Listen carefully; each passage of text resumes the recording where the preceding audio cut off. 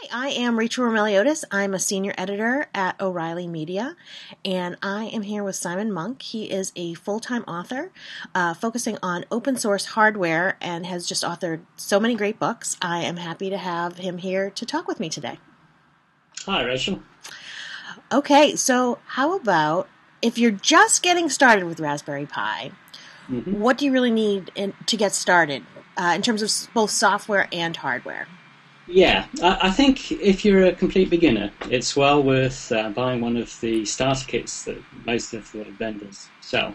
Because um, one of the more difficult things when you get a new Raspberry Pi is that you have to sort out an SD card for it to work with. So um, a lot of these starter kits come with a, an SD card ready formatted and ready to go.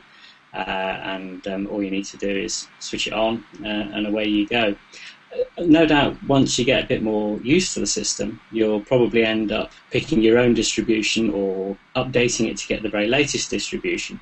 But certainly when you're just starting, that, that'll do you absolutely fine uh, in terms of uh, getting going quickly with mm-hmm. the Raspberry Pi. How about I know um, people have selected different programming languages to use with the Raspberry Pi. What yeah. is your suggestion on sort of how to decide on what language? Okay. Well, I mean, the, the original um, motivation by the Raspberry Pi Foundation, and, and the reason that the Raspberry Pi is called the Raspberry Pi, is that um, they intended it really for school kids to be um, learning Python on. And Python is one of those languages that just has a huge uh, community behind it. Um, it's lightweight, so it runs well on the on the um, Raspberry Pi.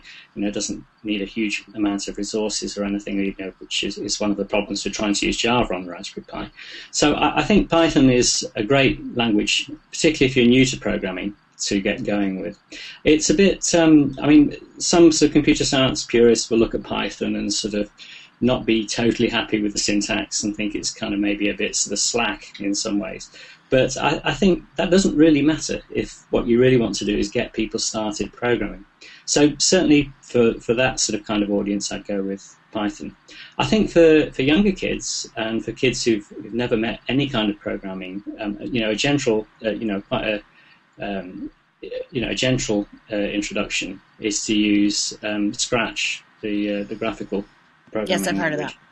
Yeah, and, and it's quite nice because, um, for example, a lot of the interface boards, uh, you know, like the uh, the PiFace, have got um, libraries that are compatible with Scratch. So you can actually do some of the hardware hacking from within Scratch without having to resort out to Python.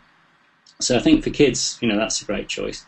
And then, you know, for the real sort of real hard programmers who, who really want to sort of stretch themselves and do recompiling of kernels and all sorts of fancy stuff like that, then you've got C available because, I mean, after all, the Raspberry Pi is just a Linux computer.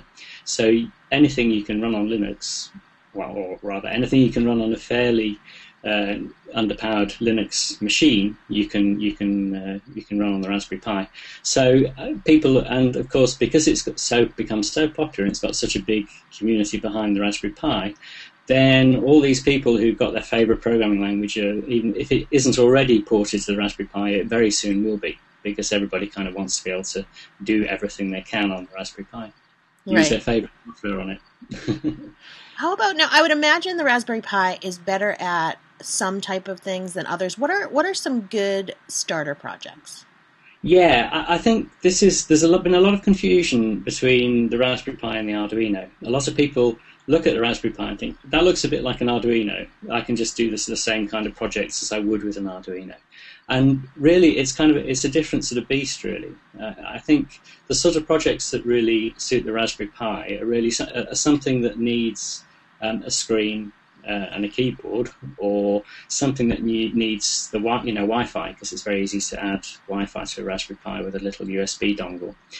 Um, because those are things that Arduino can't do very well. So it makes sense for any kind of project where you're sort of effectively kiosking a little computer uh, to be done with the Raspberry Pi. Um, it's a it's um, it's a difficult one because the Raspberry Pi, when you look at it, and it's got those GPIO pins, and you think, right, I can connect up loads of electronics to them, um, and you can, um, but it's uh, they are a little bit delicate in some respects. So you have to be a little bit careful how you use them. Um, and uh, in a way, the Arduino is better at those kind of really low level things. Um, but the, the Raspberry Pi can do them. You just need to exercise a bit of caution. So, can you actually use a Raspberry Pi with an Arduino, as you mentioned, or a BeagleBone? Yeah, I mean, I think an Arduino and a Raspberry Pi are actually very natural partners because um, well, you can link them together very easily with a number of different routes. I mean, the Arduino uh, can be powered and programmed from a USB connection and exchange data over a USB connection. So, the simplest way to connect the two together is simply just plug a USB lead into your Arduino and the other end into the Raspberry Pi, and then you can, um, you know, you can communicate between the two you can have the Arduino take care of the real hardware side of things, and then you can have uh, because the Arduino has analog inputs, which, for example, for reading sensors, which is one of the things that the Raspberry Pi can't do, and then you can have the Raspberry Pi doing the bits that it's good at, which are um, you know displaying uh, data on a nice big screen, or you know collecting input from keyboard and mouse, or sending data over over a network connection guess um, you can do that on, on Arduino, but you have to have an, an, extra plug-in shield or something to be able to connect it to the internet, whereas that's all already there on the Raspberry Pi. There's also um, some quite interesting, there's a very interesting board that's come out. Um, the name of it escapes me for the moment, but it basically allows you to, um, uh, it, it's, it's kind of an Arduino that fits, plugs onto the Raspberry Pi, hmm. and then allows you to plug Arduino shields on top of it. So you kind of get a sort of sandwich with a, an Arduino and a shield and this board in the middle, um, which is a, a, you know a good combination. And that um, because you've got kind of a hard connection between the Raspberry Pi and the Arduino, you haven't got to have leads connecting the two up or anything. So there's lots of interesting things going on where you know you're kind of combining the best of both worlds with the two technologies. It definitely sounds like a pairing. So, yeah. so you've obviously helped a lot of people with your books. Uh, can you share some sort of common issues or mistakes that you've run across that will help people avoid them? Uh, yeah, I, I think. Um, I mean, th- there are lots of sort of problems uh, that, that, people have sort of around sort of setting up uh, wireless networks and things. So they might, um, you know, get hold of the wrong kind of, uh, of network uh, of USB uh, Wi-Fi adapter, for example. Um, and so you end up wasting money because you buy an adapter that there's no driver that will work with the Raspberry Pi. Uh, and a very common problem is lots of people have monitors that will have um, VGA um, input on them, um, but the Raspberry Pi doesn't have VGA output. It only has HDMI output for its video. So you can buy adapters, um, and you can buy them on eBay for a few dollars. Um, that claim to, you know, that have the right sockets on either end, but when you actually come to try and plug them in and get them to work, they won't work. So I think it's very um, before you go out and spend money on some peripherals like that, then you need to just check for compatibility and make sure you're getting something that will work. I mean, one of the ways to kind of guarantee it, I suppose, is to buy from the same, you know, the same supplier you buy the Raspberry Pi from, and then you know you, you kind of know that you're getting something that will be compatible with it. How about um, how about some sort of uh, expert tips when you are up and running that help you get some good either you know performance or something you didn't expect out of the Raspberry Pi? Yeah, I, I, think a lot of people, when they first start the Raspberry Pi up, um, and they maybe load up some piece of software uh, you know, maybe try AbiWord or something like that, or um, GIMP for image editing. Uh, and it just seems quite slow. And one of the features that you have on the Raspberry Pi is when you, you first boot it up for the very first time, it takes you into this configuration tool where you can choose a number of options from on there. Uh, you know, you can do things like sort of rescaling the screen so that it fits properly.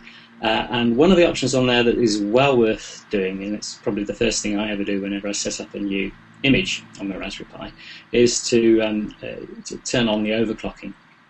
Because overclocking sometimes sounds like the sort of nasty, hacky thing that people do in their bedrooms and cook their hardware because they just, you know, over, you know, they're making it run faster than it was designed to. But actually, the, the overclocking on the Raspberry Pi um, is quite smart in that if it starts to get too hot, the Raspberry Pi, um, it just drops the clock rate back down again. So you can't really do any harm with the overclocking, um, and it does mean that um, you can get a sort of gigahertz performance out of it rather than the 700 megahertz, which does make a, a you know a big difference. Uh, just to you know getting it uh, working a bit more quickly, um, especially when you start to run you know fairly heavyweight programs like GIMP, uh, anything like that. It will make quite a noticeable difference. So, similarly, games, you know, if you if you do that, uh, do the overclocking, it will make them much more uh, much better performance. Cool. I've got one bonus question. So I mm-hmm. assume that you've seen some really, really cool projects. Uh, so I was wondering if you could tell us about one or two, and also sort of, is there a place online where people can go to check them out? The, um, well, you see a lot of people when they've, they've, made a project, you'll find them on the Raspberry Pi bulletin boards, on the you know the official Raspberry Pi uh, bulletin board, um, and of course, um, you know you find uh, uh, lots of things on Instructables and all over the place where, where people have made projects. So they're, they're, good places to, to look for them. And it's a good sort of source of inspiration as well. If you're thinking, I want to do something with my Raspberry Pi, just trawl along there. And, and of course, YouTube, if you type Raspberry Pi projects into YouTube, you will get pages and pages and pages of hits. Um, I think some of the ones I like uh, best are kind of the ones that sort of go to the strengths of the Raspberry Pi. So things like the sort of uh, where people have made a vintage games console. Nice. Because that's kind of a, a great uh, Raspberry Pi project because you uh, you can plug in a little um, screen, little low resolution screen into it. Um, but you can also have the proper controller. You can get hold of an old vintage, um, some vintage buttons and a vintage joystick controller, and then you can interface them with the GPIO hardware and have them actually do some, you know, um, you know, use them to make a, a proper little games console. And there's nice games emulators available for the, for the Raspberry Pi that so that you're effectively playing the game that you were playing in the 1990s or, or 80s even in some in some cases, um, and, it, and, it's just running a, a ROM image on your Raspberry Pi. So I think that kind of thing is, is a lot of fun and the sort of thing where the Raspberry Pi really wins over.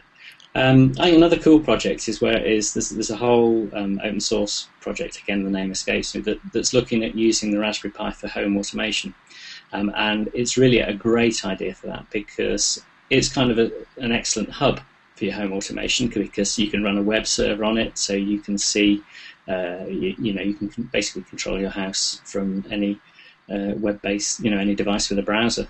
Just um, get it get it turning lights on and off and uh, doing all those kind of kind of neat tricks with it. Cool. I think I'm actually going to try the um, the game, the vintage game thing, because that sounds really fun. Oh, okay. Well, thank yeah, you so much. well, thank you so much for joining me. You're and um, you know, uh, we have a book with you, obviously, and mm-hmm. uh, it's called Raspberry Pi Cookbook, and we're going to have early chapters out this summer, and then we'll have the book out in the fall. So people should look out for that. Okay, thanks very much. All right, thank you so much.